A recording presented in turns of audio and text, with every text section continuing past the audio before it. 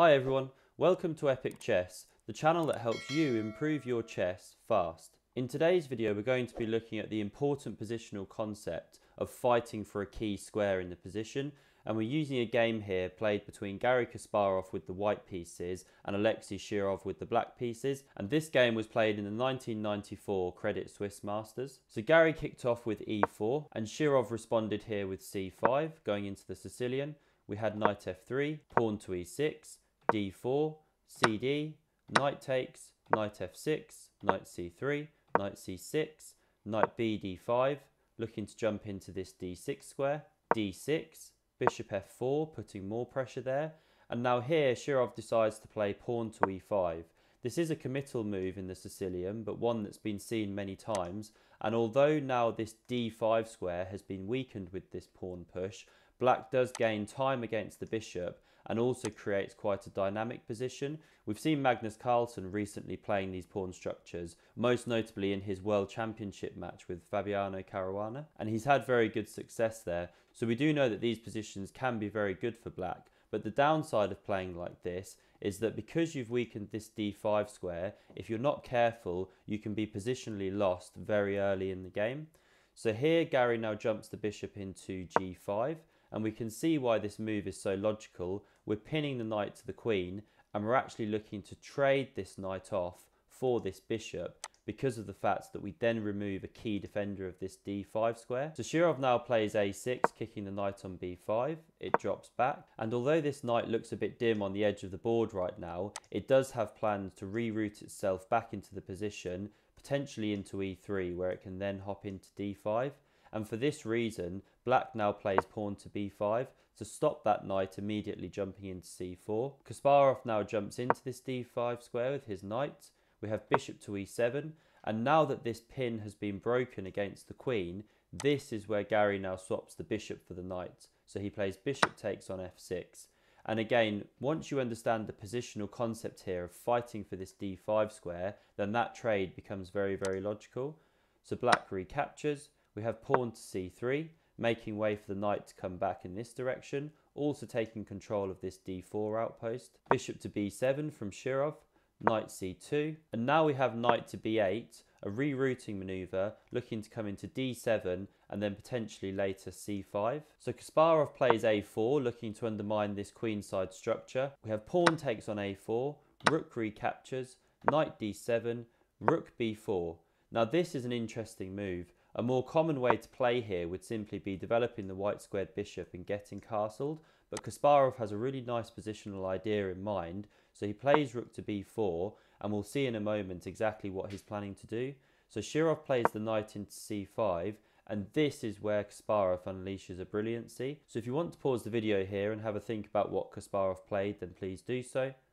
Kasparov now chops the bishop on b7 rook takes b7. A beautiful exchange sacrifice, recognising the fact that control of this d5 square is key here, and so by removing this light squared bishop, he's now gained control over this light square of d5 and the light squares on the board in general. So Shirov recaptures. We now have b4 clamping down on the knight outposts. And this is the other really nice thing about this position is that because the knight was forced to recapture, it now can't come to a5 or to c5 because this pawn is blocking the jumps and it's not very easy for the knight to reroute into the game any other way. The queen is going to have to move to then free up the d8 square for the knight to come back into the game somehow and of course that all takes time. So that's what Kasparov is playing for here, the control of this key d5 square and also he's got a nice initiative now which he can build upon. So we have bishop to g5 for Shirov, He'd love to trade this bishop off if he could, to get rid of what is his bad bishop here on the same colour complex as his own pawns,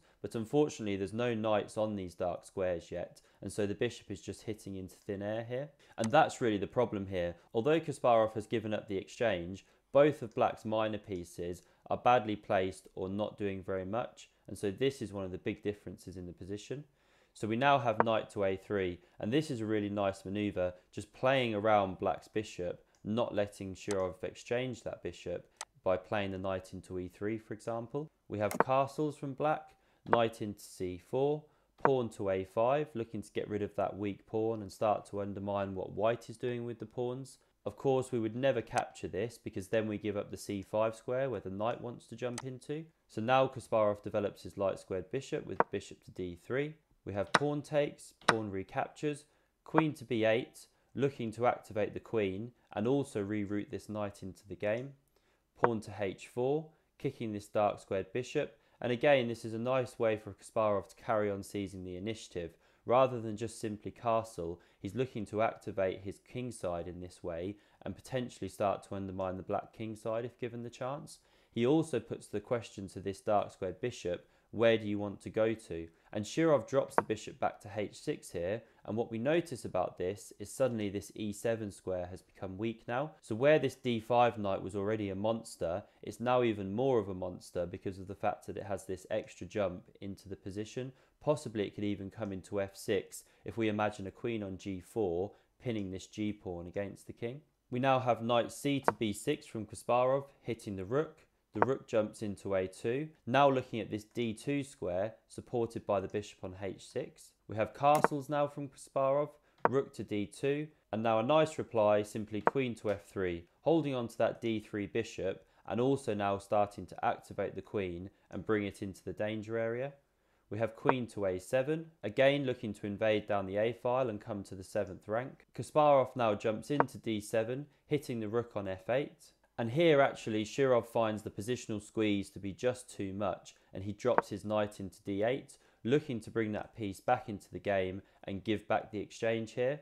And after this, now Kasparov is really just much better. So he chops off that rook, king recaptures, and now we can see that not only is the material level, but Kasparov has a huge positional advantage with a monster knight on d4, a passed pawn on b4, a raging attack still against the black king. And so I don't think this decision was very good by Shirov because now he's just worse for no compensation at all. At least if we run back to this position here, he does have the exchange. And so even though he's suffering positionally, I think a better move here would have been to play rook to a8, trying to activate that rook and saying to white, okay, you can jump in and give this check. And after the king is forced to move away and queen captures here, even though this looks scary, there is a draw line here which the computer finds. Now maybe Shirov didn't see this in the game, which is why he didn't go for it. But after black captures on d3, white can now jump the knight into f8, threatening checkmate on g8, supported by this knight on e7. But now the queen can jump into a2, and it defends against that checkmate all the way from behind down this diagonal. And white would have to give ground here, drop back into f5, again threatening checkmate on h7 supported by this knight. So we'd get g6 and say we throw in the check here, bishop blocks, we now have nothing better with white but to force a draw here by chopping this g6 pawn with the knights. And basically white can continue checking black. So after the king jumps up, White drops into f5 again, and between queen and knight, it's not possible for black to escape these checks. And it should be noted that the queen and knight are very good attackers together, so always look for that combination in your own games. If you can get the queen and knight into the danger zone around the king, they work very effectively together. So coming back here, Shirov played knight to d8, Kasparov chopped off the exchange, king recaptures, pawn to b5, simply pushing that other asset down the board now, queen into a3, hitting this bishop. And now a really nice response from Kasparov. Even though that bishop is threatened and pinned to the queen, Kasparov has seen that because the black pieces are so uncoordinated here and the king is also looking a little unsafe, he can actually ignore this threat and play queen into f5. A really nice move. So if black takes this rook, then the queen now comes into d7 and it's a silent killer move the threats are too much here. If black tries to save the knight by say knight to e6, then we simply have mate in 2 with queen to c8 and the knight has to jump back and block. So in this position, that's why Shirov has to respond to Kasparov's threat. And he plays king across to e8 to stop the queen invading. So now Kasparov saves his bishop, bishop to c4. We have rook to c2, hitting that bishop. And again, now Kasparov just meets Shirov's threat with an even greater counter threat and if you want to pause the video and have a look at what Kasparov played here, then please do so. Kasparov plays queen takes h7, and now in this position, Shirov does chop off that bishop. Kasparov comes in with the check, and after king to d7, this is really the point of leaving that bishop on c4 undefended. Kasparov jumps in with the knight fork, king moves away, and then he picks up the rook. And now Kasparov is the one who's actually an exchange up in this position. Shirov jumps back with the queen to c5. We have rook to a1, again leaving that knight undefended, because if the queen chops it off with queen takes c4, now the rook jumps in with rook to a7, and again the king is forced to run away. We pick up the knight on d8, and we still have a raging checkmating attack. Black can throw in a couple of checks here, but after king to h2, queen to f4, we can simply run the king to h3 here, and there's no checks possible on g4 or f5. So coming back to here, instead of taking that knight, Shirov plays queen to d4. And now again, if you want to pause the video and have a think about what Kasparov played here, then please do so. He played a silent but deadly move here, rook into a3. He'd like to check on a7, but the queen is still defending that square, and the rook was also attacked, so had to move. And he's basically saying to black, find a move here, because it's very difficult for black to actually coordinate the pieces and figure out what to do. Shirov tried bishop to c1, hitting that rook again, and now simply Kasparov plays knight into e3. Another really nice counter threat move, because if the bishop takes the rook on a3, then we jump into f5 and we have this nice knight fork picking up the black queen. And if instead the bishop were to chop on e3, then we have rook recaptures, and again this position is just hopeless. Kasparov's the exchange up, he has a pass pawn here, and the black king is still very, very unsafe, staggering around the middle of the board. So a really nice attacking game from Kasparov, and it shows very powerfully how controlling a key square, like this d5 one in this game, can lead to a decisive initiative that wins the game. And I especially love how Kasparov used the exchange sack here to sack the rook from b4 for this bishop on b7, highlighting that light squared domination, which ultimately led to winning this game. So I hope you found this video really helpful. Don't forget to like, comment, share and subscribe and I hope to see you again on another video.